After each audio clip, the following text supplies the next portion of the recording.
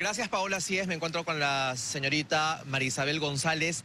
Ella denuncia haber sido atacada por un pasajero. Ella hace taxi por aplicativo y este lamentable suceso fue el día domingo, digamos a las 2 y 50 de la madrugada. ¿Qué fue lo que pasó? Cuéntenos. Eh, bueno, pidieron, este, un chico pidió taxi en aplicativo Didi en San Isidro, que se dirigía a Barranco, y cuando fui a recogerlo habían dos chicos, entonces subieron normal, lo, llegué a Barranco, eh, se bajó el que pidió el taxi y el otro señor, el chico, quería que le haga otro servicio, forma particular acá a su casa, ¿no?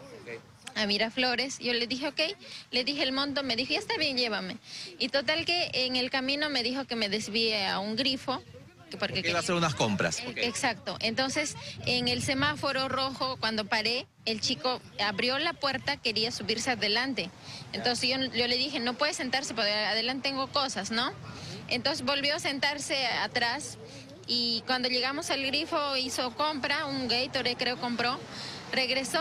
Total que un día estamos llegando acá en el semáforo, cuando estoy volteando, el chico agarra así de la nada, me agarra el seno y, y total que este, yo grito, ¿no? Eh, ¿Qué le pasa? Le digo, ¿no? Y mi brazo hice así y en eso él como retándome me agarra mi parte íntima. Ahora, ¿usted cree que él estuvo alcoholizado? Sí, estaba, estaba tomado. Estaba tomado y entonces llegamos acá, yo le digo, mire joven, lo voy a dejar pasar por alto lo que acaba de hacerme, pague mi taxi, bájese de mi carro, le dije. Para hacer hincapié solamente, señorita, estamos aquí en Miraflores eh, y aquí es donde vive este supuesto agresor. Sí, sí, acá es donde vive porque acá salió su papá y su papá en vez de, de Usted decirme... le contó lo que le había pasado. Sí, sí, me dijo, de frente me dijo, ¿qué le has hecho a mi hijo? Algo le has tenido que hacer porque él no va a reaccionar así de la nada, me dijo, ¿no? Y cuando le hace los tocamientos indebidos, obviamente usted lo rechaza, le increpa qué es lo que ha pasado. ¿Y él qué le dice? No, simplemente eh, cuando ya habíamos llegado, este, le dije, bájese de mi carro, págueme y bájese nada más, ¿no? Y el chico este, se puso agresivo, empezó a insultarme diciendo que era una perra, eh, este, me dijo que ya te, ya te he pagado, me dijo que quieres cobrarme de más, otra tarifa. encima de los golpes, la insultó. Vemos, vemos que usted tiene pues como, como un, un arañón, acá también tiene un, un hematoma. Eh, sí, sí, es que eh, el brazo me torció, ¿no? Eh, me duele ahorita todo el brazo porque quería quitarme el celular. Él a toda costa quería quitarme el celular, este, porque yo filmé el video, ¿no? Y ahí es donde me agrede, ¿no? Este, a mí y a, a mi novio también. Mi novio trataba de detenerlo nada más. Su novio por suerte estaba por acá porque también hace servicio de taxi. Sí, sí. Entonces lo, de- lo- lo detuvo, aún así nos golpeó a los dos, ¿no? Eh, me, me logra quitar el celular y luego el, este, me quita el celular, entonces ahí es donde ya no grabo el video, pero en las cámaras debe estar cuando él me tumba al piso. No, ahí donde me hago esto de acá al piso y, y- y yo no sé qué más me iba a hacer, ¿no? Y ahí es donde lo detienen el chico del, del conserje.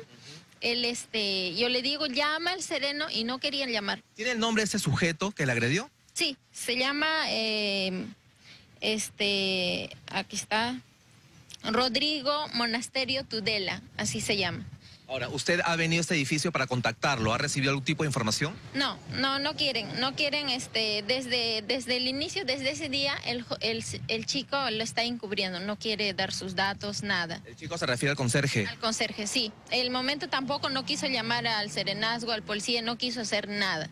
No, entonces este lo está encubriendo y aparte de que me ha insultado todo, ¿no? Y ahorita eh, yo me siento afectada totalmente, de verdad. No estoy trabajando, me siento mal. De hecho, estoy con el Ministerio de la Mujer, todo, porque me están ayudando porque estoy pasándolo mal, ¿no?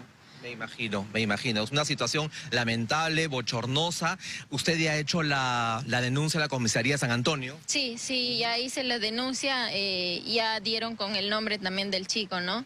Y están haciendo pues su investigación, ¿no? Bueno, fue el testimonio de la señora María Isabel, es un hecho totalmente lamentable y esperemos que se pueda esclarecer según las investigaciones de la policía. Es la información que tenemos hasta el momento. Adelante contigo, Paola, en estudios. Gracias. Gracias, Bruno, por la información. Qué bueno que María Isabel ya está recibiendo todo el apoyo del Ministerio de la Mujer. Es que es inadmisible lo que ha sucedido. Y aquí no vengan con que no estaba tomado, estaba alcoholizado. Esa no es ninguna excusa para que este sujeto no solo le haya realizado tocamientos indebidos a esta taxista, sino que la haya golpeado de esa manera.